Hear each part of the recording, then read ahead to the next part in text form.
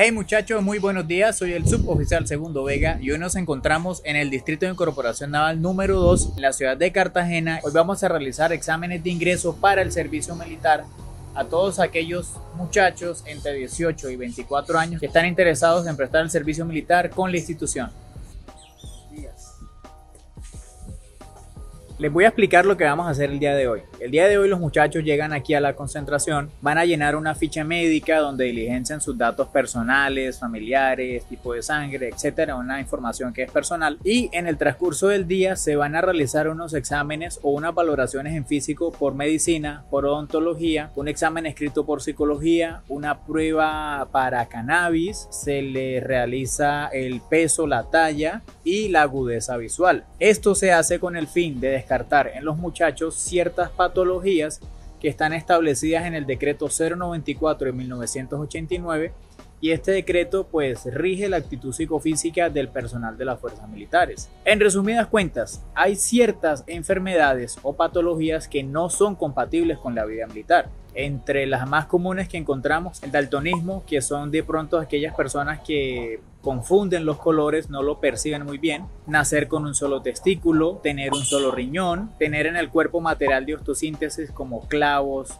platinas, tornillos, etc. También hay unos criterios por odontología como el apiñamiento severo, eh, caries, ausencia de dientes, abscesos, etcétera, etcétera, etcétera. Entonces lo que vamos a hacer el día de hoy es identificar en los aspirantes este tipo de patología y pues eh, esos aspirantes no pueden prestar el servicio en estas condiciones porque esto lo que haría con ellos es causarle problemas mientras están prestando el servicio militar. Por ejemplo, ¿qué tal que uno de estos muchachos que tiene una alteración en la percepción de los colores o que tiene daltonismo Supongamos que se ha asignado a la compañía de antiexplosivos. Esto es un ejemplo. Ellos no los asignan por allá, pero esto es un ejemplo. ¿Y qué tal que a él le digan, bueno, desactive la bomba y corte el cable verde? Entonces él como tiene esa percepción de colores, el verde no lo ve tan verde, sino que lo ve rojo. Entonces corta el cable que no es y pues lamentablemente explotaría la bomba.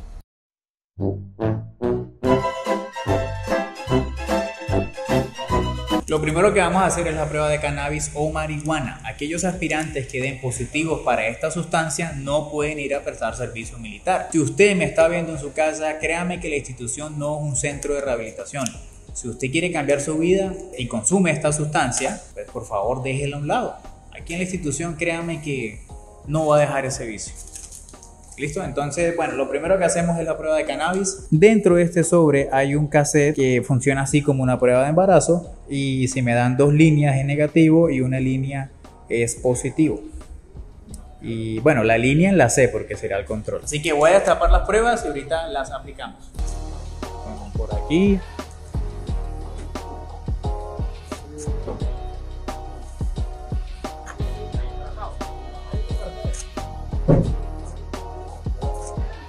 Está marcando apenas.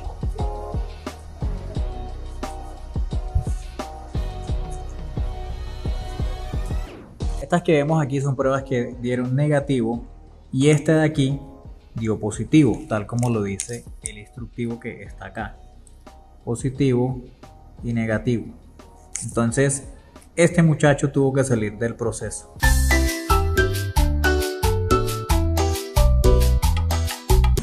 Bueno, en esta parte del proceso los aspirantes están haciendo la prueba psicológica. Es un examen escrito que tiene varias preguntas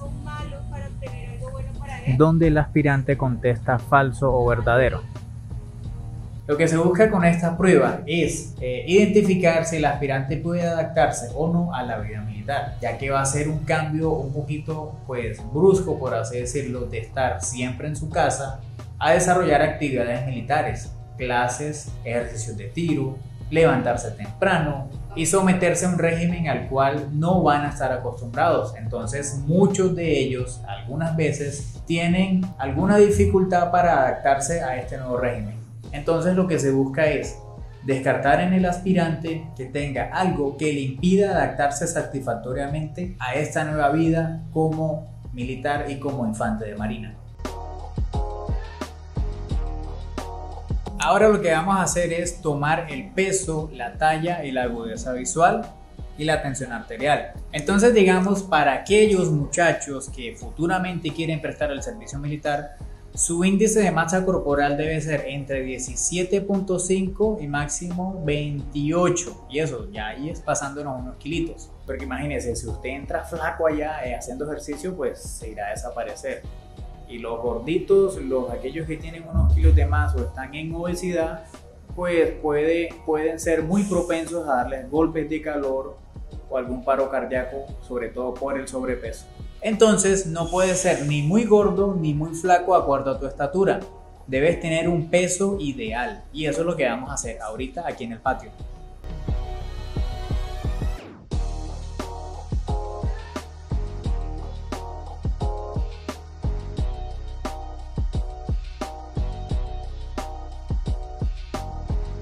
El tema de la agudeza visual vamos a calcular la agudeza visual en algo que se llama tabla de Snell, que esta tabla se usa para ver la agudeza visual de los aspirantes. Entonces ellos se tapan un ojo con la palma de la mano y me dicen las letras que yo les señale. La agudeza visual de ellos debe ser de 20-30 o 20-20, sin gafas y sin lentes de contacto. Un aspirante con la agudeza visual disminuida y que necesite gafas o lentes de contacto para ver de lejos va a pasar muchas necesidades en la fase de formación y no va a aprender al mismo nivel, no va a tener las mismas capacidades que tienen sus demás compañeros. Por ese motivo no se puede ingresar ni con gafas ni con lentes de contacto.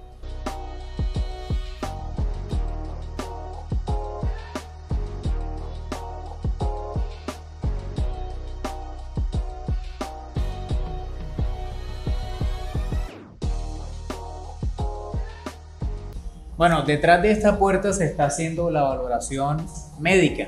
Voy a ponerme por acá para explicarles bien. Durante la valoración médica, el médico lo que hace es examinar a los muchachos cabeza, eh, ojos, oídos, boca, cuello, etc. De la cabeza a los pies, buscando en ellos señales o síntomas de algunas enfermedades o patologías que no son compatibles con la vida militar. Además, el médico pregunta por antecedentes de los muchachos, si alguno sufre o ha sufrido una enfermedad, si toma algún medicamento, todo todos los días, si ha sido operado, si ha tenido accidentes de tránsito, si tiene material de osteosíntesis como platinas, tornillos, clavos dentro de su cuerpo, con el fin de descartar enfermedades que no son compatibles en la vida militar. Resulta que, eh, bueno, yo nunca les muestro a los muchachos durante la valoración médica porque a ellos se les dice que se cambien en ropa interior, o sea, únicamente se quedan con el boxer. Y pues obviamente a nadie le va a gustar que yo, pues mientras le están haciendo su examen genital, pues yo grabe eso. Porque si no me cierran el canal.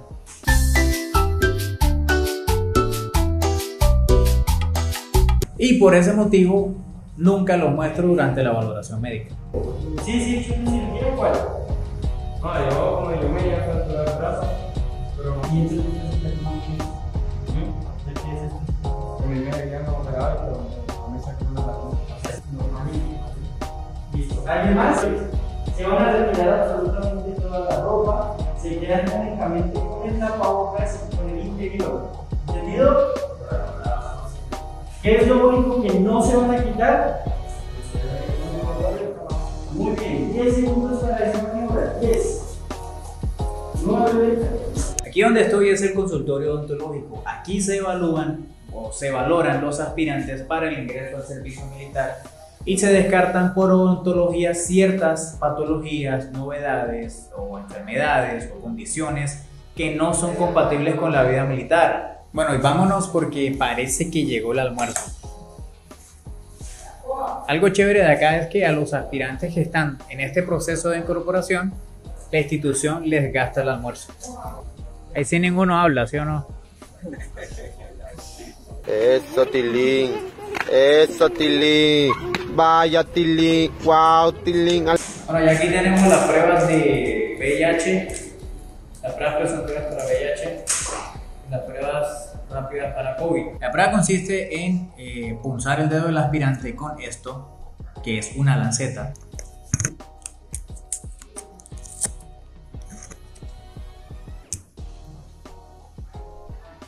Ahora lo último que vamos a hacer es tomar las pruebas rápidas para COVID y para VIH. Así que voy a abrir las pruebas y preparar a los muchachos. La prueba consiste en tomar una gota de sangre en una de las yemas de los dedos de los muchachos y aplicarla en unos cassettes. Luego de esto, pues se le aplica un reactivo y ahí marca pues el resultado.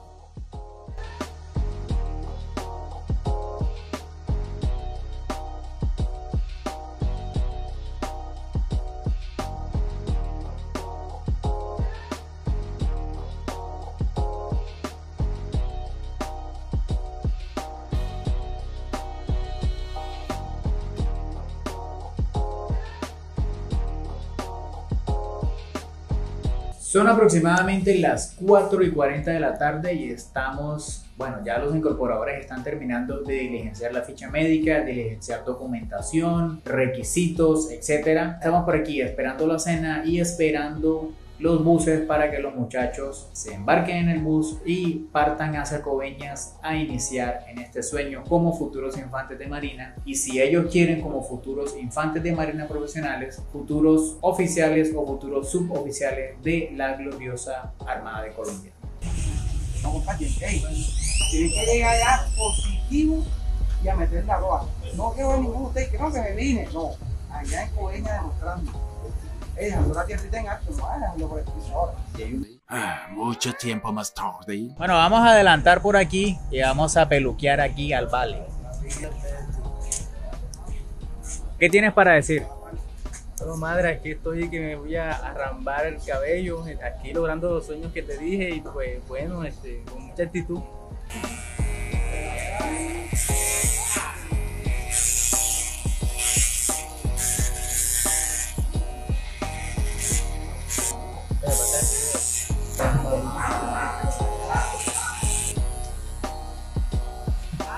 Déjalo así. bueno, por aquí tenemos a la mascota del Distrito de Incorporación de Cartagena, el famoso Manolo. ¡Ay, Manolo! Hola. Él era la mascota del distrito de Cincelejo y ahora lo trasladaron para acá. ¡Ey! Manolo, Manolo. Más tarde. De dejar cupos vacíos, de atrás para adelante.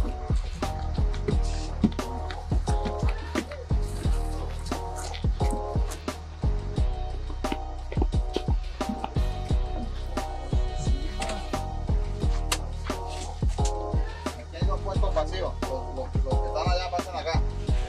Buenas noches, mi nombre es David Julio Padilla y le mando un saludo a mi mamá allá en San José del Playón. Ella sabe que la quiero mucho, la amo y que todo lo que estoy haciendo es por ella y por mi padre. Buenas, mi nombre es Esteban Ortega de Los Nuevos y hoy en día las decisiones que tomamos es para que vean que sí podemos. Queremos ser un ejemplo para los demás. De corazón les deseo lo mejor para todos, así como yo a nosotros. Un saludo a mi mamá, está en el, sector Olaya Ricaute, que la amo mucho. Buenas tardes, mi nombre es Edel Alfonso Gutiérrez Monte, le mando saludos a mi madre, a mis hermanas allá en Pailita, se sabe, los quiero mucho y esto es por ustedes, yo. Bueno, mi nombre es Gualberto Alzuza, este, pues... Alias del pelo verde. alias del pelo verde. Y pues bueno, me encuentro ya aquí en proceso ya de tiro hacia base y pues nada, madre, aquí eh, luchando por ti, la familia y pues con toda, pues salir en la vida. Chao.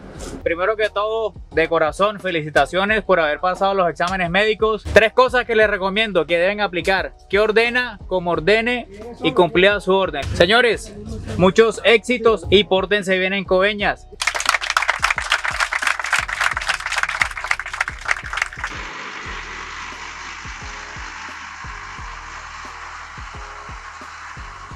Bueno familia, ahí van nuestros futuros infantes de Marina, contingente 4 del 21. Bueno familia, ya los muchachos se fueron, van con destino hacia Coveñas. Eso fue todo por el día de hoy. Espero que este video les haya gustado. Eh, por favor, si les gusta, compártanlo con sus amigos, denle like y por favor dejen el comentario. Así que hasta luego.